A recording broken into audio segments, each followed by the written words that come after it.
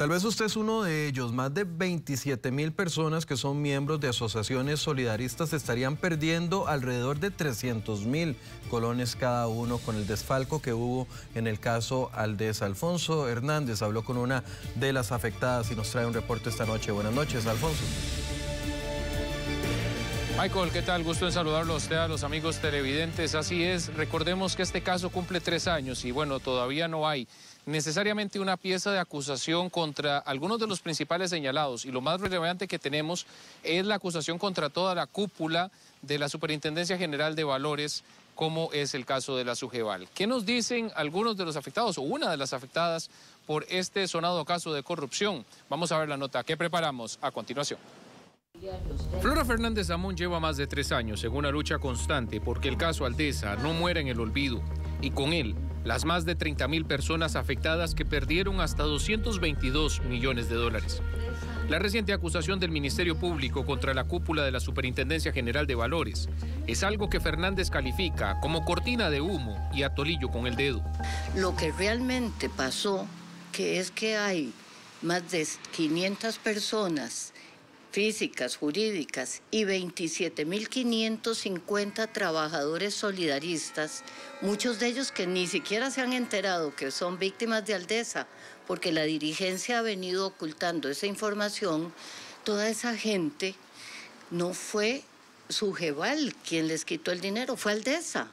Entonces, con esta cortina de humo que lanzaron, Sujeval a mí no me ha tocado un céntimo. María Lucía Fernández la superintendente faltó a su deber, hay un incumplimiento de deberes.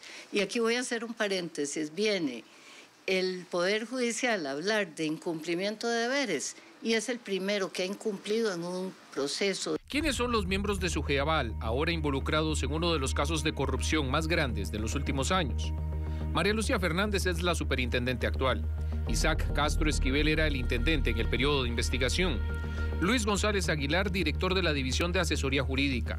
Rodrigo Segura Cano, director de Supervisión de Fondos y Emisores. Carla Arias Hernández, directora de Supervisión del Mercado de Valores. Y Patricia Mora Solís, directora del Departamento de Oferta Pública de Valores.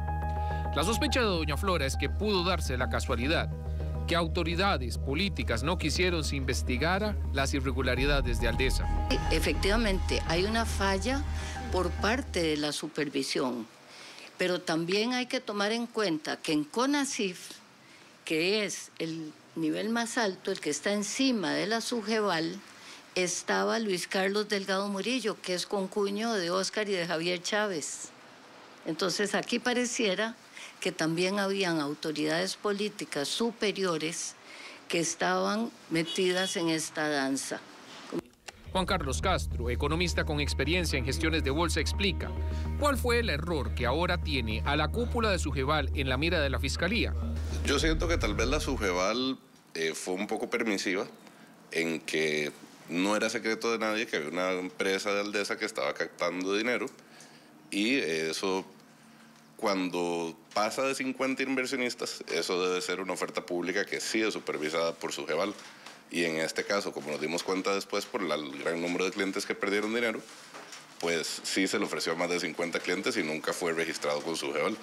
El problema que siento que hay es, primero, el inversionista. El inversionista lo está llamando su corredor de bolsa de Aldesa, desde el número de teléfono de Aldesa, y si bien no está claro que tanto se les explica que es una empresa externa a la supervisada, claramente el inversionista se siente tranquilo porque se siente cobijado bajo la, la cobija del puesto de bolsa que ya conoce.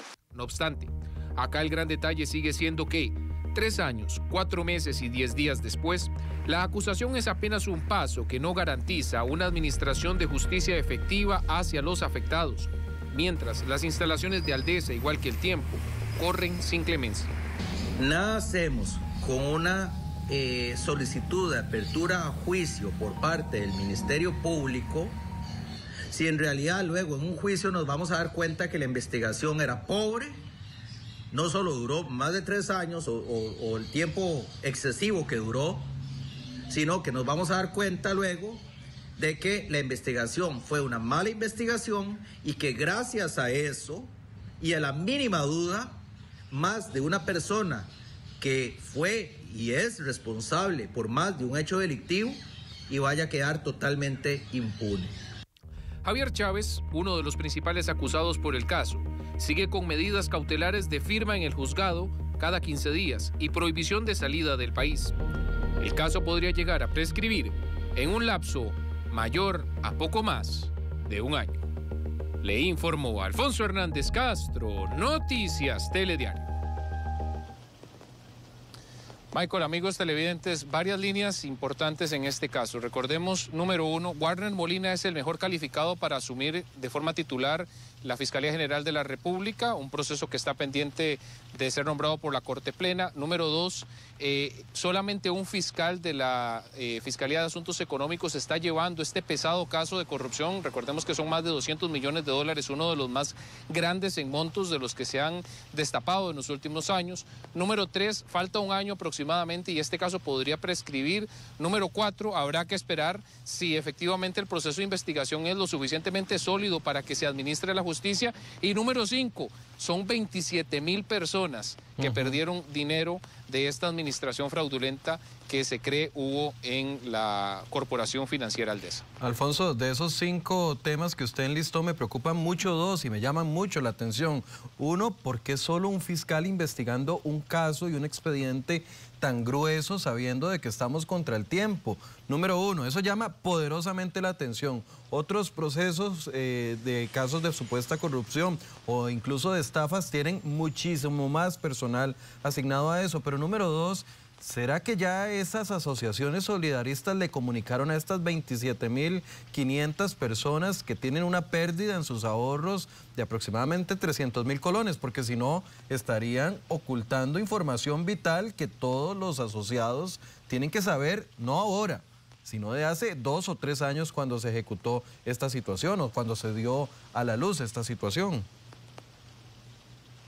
Michael, lo, referente al fiscal, pues es uno de los temas que efectivamente el Ministerio Público, incluso la Corte Plena, debe de explicaciones a la, sociedad costarricense como un todo. Y decía doña Flora que lamentablemente la, cúpula solidarista de nuestro país ha mantenido un silencio bastante sospechoso sobre este tema y mucha gente efectivamente, lamentablemente, no sabe que es uno de los tantos afectados con este caso de Aldes. Bueno, si usted es miembro de una asociación solidarista, es mejor que empiece de una vez a hacer las consultas correspondientes porque sus ahorros podrían estar en riesgo. Gracias, Alfonso, por este reporte. Muy buenas noches. Con mucho gusto, muy buenas noches.